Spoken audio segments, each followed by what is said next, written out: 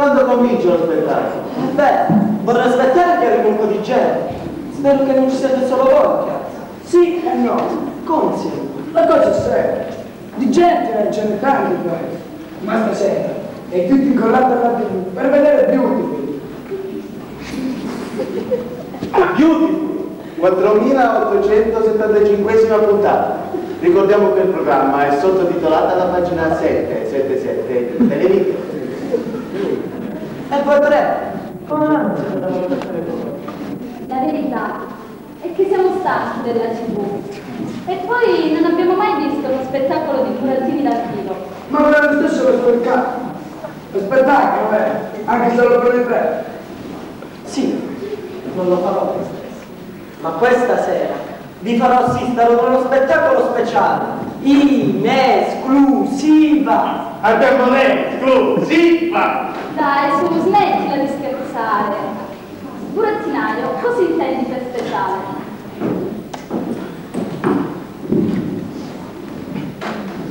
Vedete, di solito su questi burattini, ma per occasioni speciali come questa, tiro fuori dei burattini che recitano, cantano, danzano, insomma fanno tutto da soli, senza che nessuno li debba guidare. Ma scusa, ci prende in giro. È impossibile. Facci vedere. Un po' di pazienza li vedrete allora. Sono veramente eccezionali. Ma che storie ci racconti queste? Con questi strani burattini. Voglio raccontare la più grande storia d'amore di tutti i tempi. Ah, cara, cara, più grande di quella di Beautiful, è impossibile. Allora, sono 4875 puntate che faranno. E ancora continua. Quella che vi racconterò stasera è ancora più grande, è la più grande di tutte. I protagonisti sono due giovani ebrei che vivono tranquillamente in un piccolo villaggio della Palestina. I loro nomi sono Maria e Giuseppe. Giuseppe Pantalena era sempre parecchio la posta. I clienti normali e vengono tutti per la sua serietà e per la sua bravura. E inoltre non chiede molto per suo lavoro, non mercanteggia mai con il cliente e consegna immancabilmente la scadenza promessa. È un pezzo, insomma. Eh sì, secondo i criteri di giudizio che sono abitualmente un pezzo, ma io preferisco chiamarlo pezzo. E Maria? Raccontaci di Maria. Ma io una ragazza molto speciale, diversa dalle altre, servizievole con tutti, non prendere sul ogni fatica, o di liberare dalla fatica altro, sempre pronta a dare una mano, ed è così a lei che posso in ogni momento la senti cantare. Prega molto e ama la solitudine silenzio. Sono sposati, vero? No, sono ancora fidanzati, ma stanno facendo gli ultimi preparativi per il matrimonio. Eh sì, bisogna pensare al vestito, al pranzo, agli inviti, alle bomboniere. E poi, E poi i soldi che deve avere fuori il marito. Rozzo maschio sciovinista. Frutta rotta le tagliate. Calma ragazzi, non c'è bisogno di arrabbiarsi. Comunque, Maria non è il tipo che si preoccupa troppo di queste cose. Anzi, spesso se ne va solo sul tavolino, che sta sopra il palestra, e rimane lì in silenzio a contemplare la natura. Giuseppe lo sa. E così, finito il lavoro, la raggiunge e la raccompagna a casa. Proprio qui inizia la storia. Ecco, sta cominciando lo spettacolo, guardate che vi come.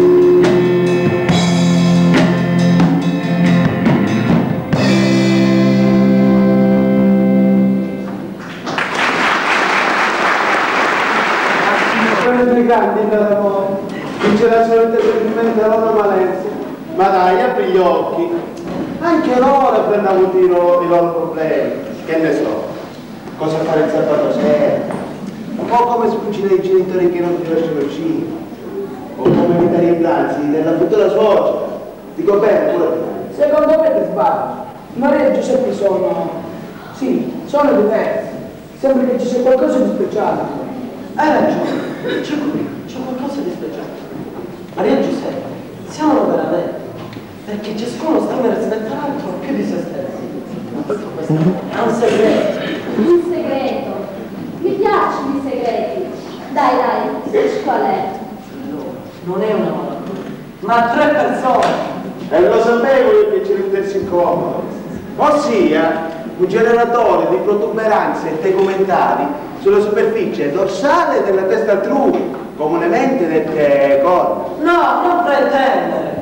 Ho detto tre persone, perché oltre a Maria e Giuseppe c'è anche Dio. I due giovani si sentono veramente amati dal Signore e si amano tra di loro, di quello stesso amore che ricevono da Dio e che sempre riempie il loro cuore. E questo può essere solo il problema. Il problema dell'appartamento, della diversità di idee, del lavoro, dei figli che verranno. Eh certo, non è un mini problema, ma sicuramente puoi superarli con semplicità e con tanta fiducia nelle vite di Dio.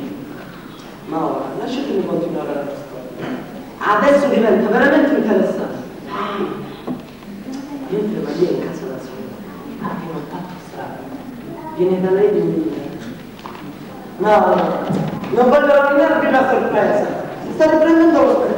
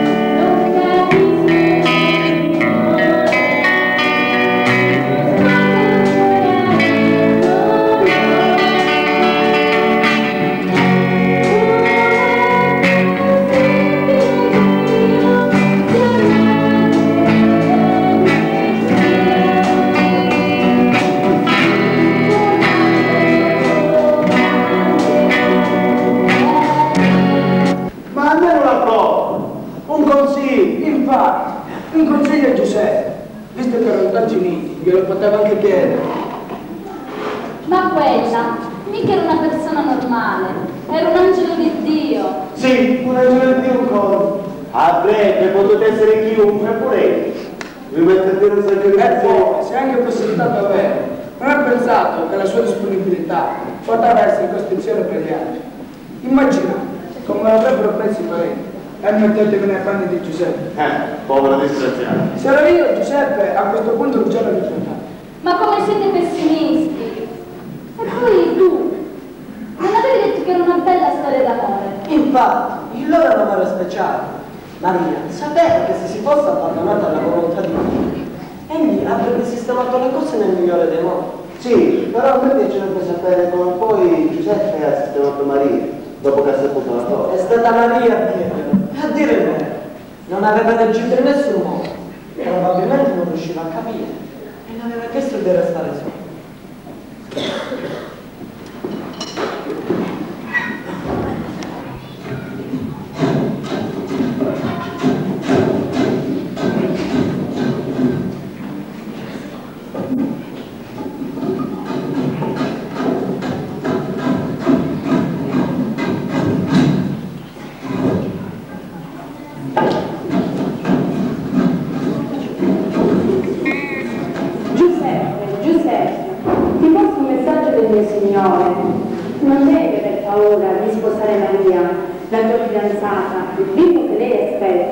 È opera dello Spirito Santo. Maria partorirà tuo figlio e tu gli farai da padre. Eh, aspetta, ma chi è il tuo figlio? E come passa per tutte queste cose? Il mio Signore, il mio Signore è Dio di Israele.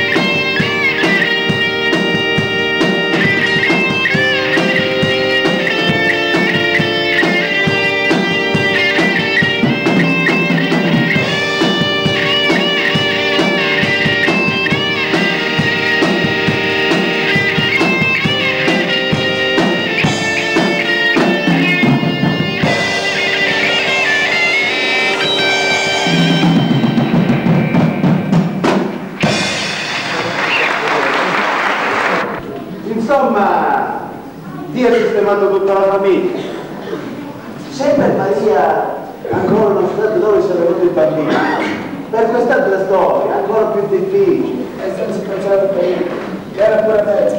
Per non parlare di Maria, che è incosciente. Le sorprese non le bastano mai.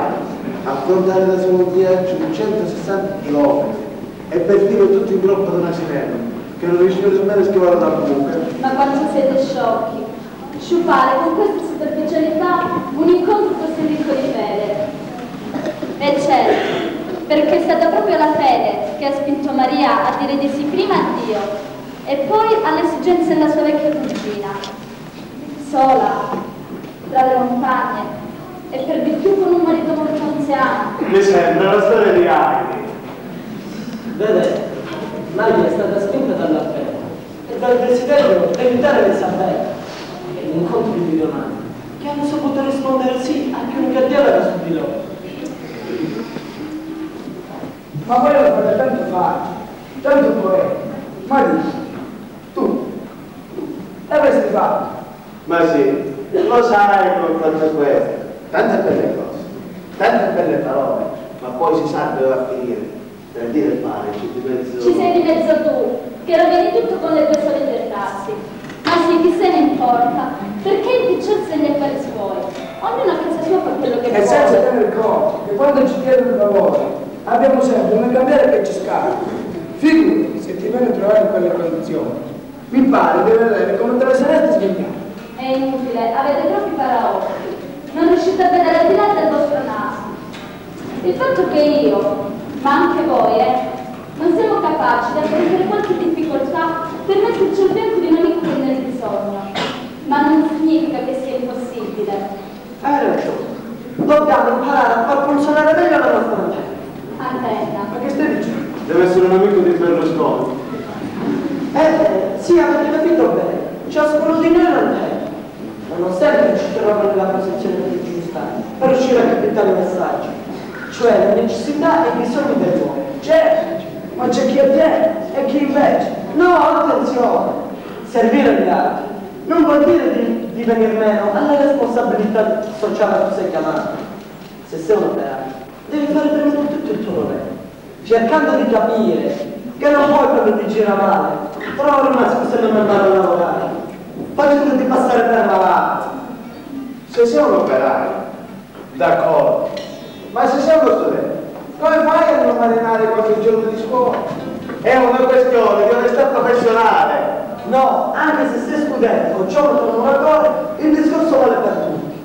Solo quando faccio bene il tuo dovere puoi, anzi, devi all'altro, per dare una risposta alle sue necessità.